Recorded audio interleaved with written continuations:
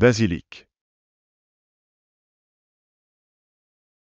Une basilique est un édifice religieux chrétien, généralement de grande taille, construit selon un plan en croix latine et comportant une ou plusieurs nefs.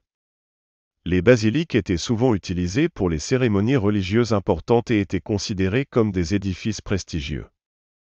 Deux exemples de basiliques célèbres sont la basilique Saint-Pierre au Vatican à Rome, en Italie, et la basilique Notre-Dame de la Garde à Marseille, en France.